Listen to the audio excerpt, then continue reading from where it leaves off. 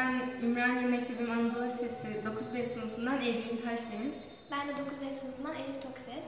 Ee, Bugün burada yüzey gerilimiyle balıkları hareket ettireceğiz. Ee, Tuzlu su yüzey gerilimini arttırır, deterjan ve e, yağ ise yüzey gerilimini, gerilimini azaltır. Ee, Balıklarımızı koyuyoruz.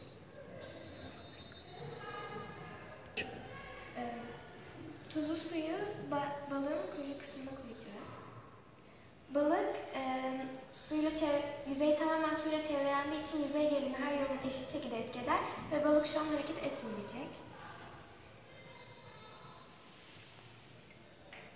Gördüğünüz gibi balık hareket etmiyor çünkü tuzlu su yüzey gerilimini arttırır ve bu balığın hareketini kısıtlar.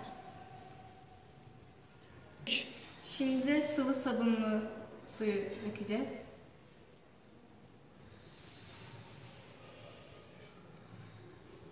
Balığın kuyruğu kısmındaki V şeklindeki kısma birkaç damla deterjan su ekleyince o bölgedeki yüzey gerilimi aniden düşüyor ve bu yüzden hızlanıyor.